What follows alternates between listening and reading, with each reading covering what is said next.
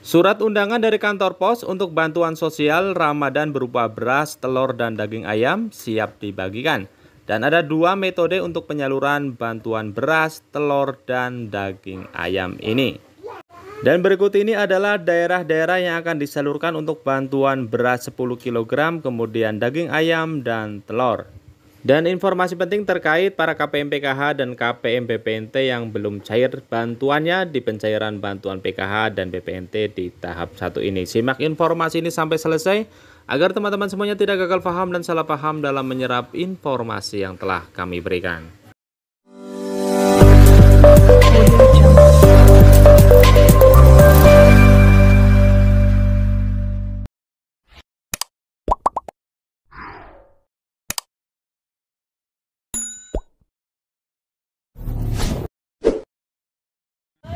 Halo semuanya, Assalamualaikum warahmatullahi wabarakatuh. Salam damai untuk Indonesia. Berjumpa lagi dengan Rano Entertainment. Di kesempatan kali ini kami akan memberikan informasi penting terkait surat undangan dari kantor pos Untuk bantuan bulan suci Ramadan yaitu berupa 10 kg beras. Siap dicairkan di berbagai daerah di Indonesia dan ada dua metode untuk penyaluran bantuan di bulan suci Ramadan ini yaitu beras 10 kg, kemudian daging ayam dan telur. Dan informasi penting terkait para KPM PKH dan KPM BPNT yang belum cair bantuannya di pencairan bantuan PKH dan BPNT di tahap 1 tahun 2023. Dan sekarang kita langsung saja simak informasi selengkapnya.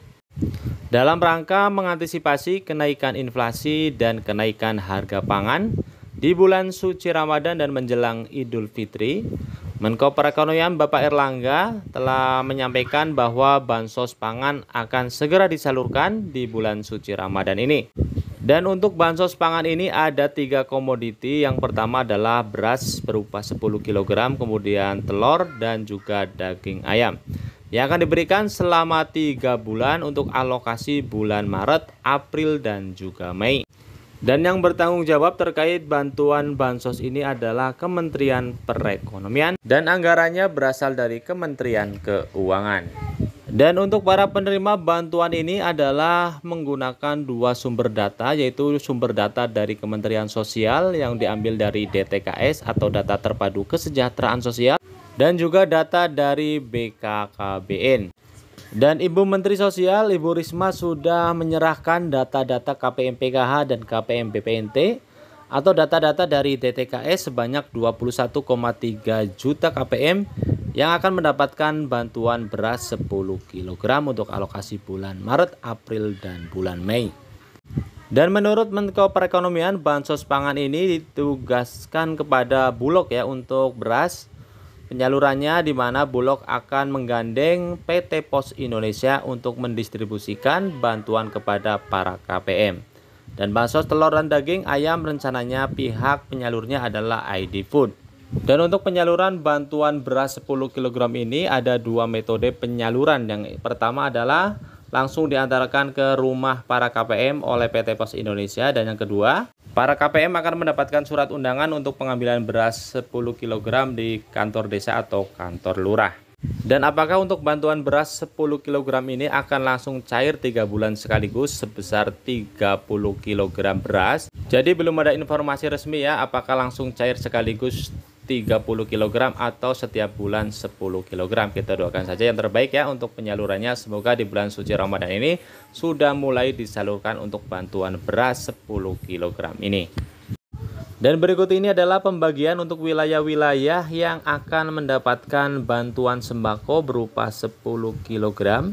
Yang pertama untuk wilayah 1 yaitu Nangru Aceh Darussalam, kemudian Sumatera Utara, kemudian Sumatera Barat, Sumatera Selatan, Lampung, Riau, Kepulauan Riau, Jambi, Bangka Belitung, Bengkulu dan juga Jawa Barat. Kemudian untuk wilayah 2 meliputi DKI Jakarta, Banten, Jawa Tengah, Yogyakarta, Kalimantan Barat, Kalimantan Selatan, Kalimantan Utara, Kalimantan Timur, Bali, Nusa Tenggara Barat, dan Nusa Tenggara Timur.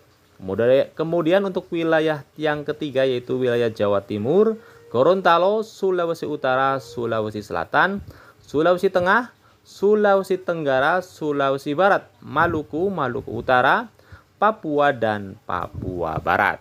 Jadi itulah pembagian wilayah-wilayah yang akan cair ya untuk bantuan pangan berupa beras 10 kg untuk alokasi bulan Maret, April, dan bulan Mei.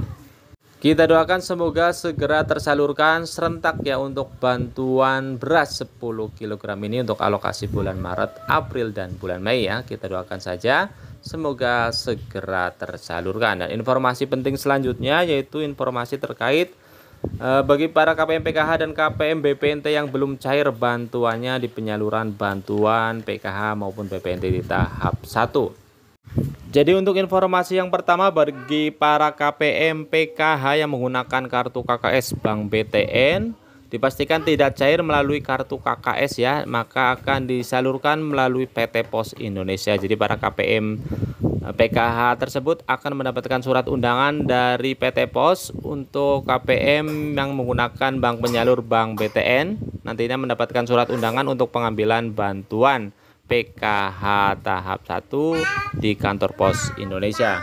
Kemudian untuk informasi yang kedua bagi para KPM PKH dan KPM BPNT yang belum cair bantuannya melalui kartu KKS maupun melalui kantor pos Indonesia dimohon untuk bersabar ya karena untuk penyaluran PKH dan BPNT disalurkan secara bergelombang atau bertermin. Jadi dihimbau untuk teman-teman untuk bersabar menunggu giliran untuk pencairan bantuan PKH dan bantuan BPNT.